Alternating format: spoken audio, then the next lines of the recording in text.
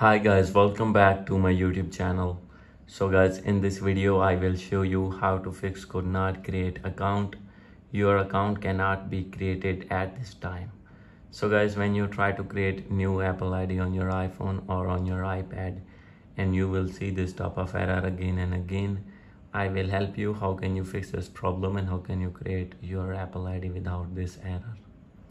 So let's get started without wasting any time. First of all, open your settings. Make sure that you have connected with strong internet connection and if you are using mobile data, select 4G or 5G network on your device.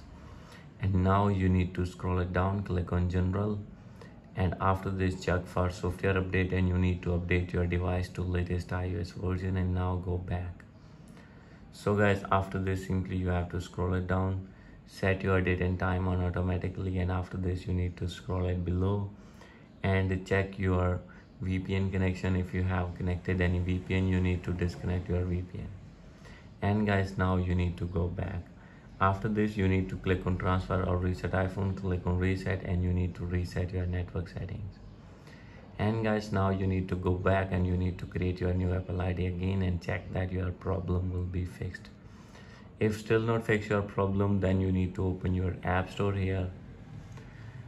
And after this click on main profile icon and you need to sign out your old apple id from here and you need to create your new apple id from your app store. And after this your problem will be fixed. And guys if still not fix your problem then no need to worry. Open your settings again scroll it down. And from here you need to click on apps after this guys you need to click on contacts option and now guys here is the option of contacts account and click on add account and click on iCloud. And here you will see the option of create a new Apple account. Simply you have to click on it and you need to create your new Apple account from here and your problem will be fixed. So guys after doing all these methods if still not fix your problem then you need to contact with your apple support team and you have to tell your problem and they will review your problem and they will fix your problem. So guys hope you like this video. If you like this video please do subscribe my channel. Thank you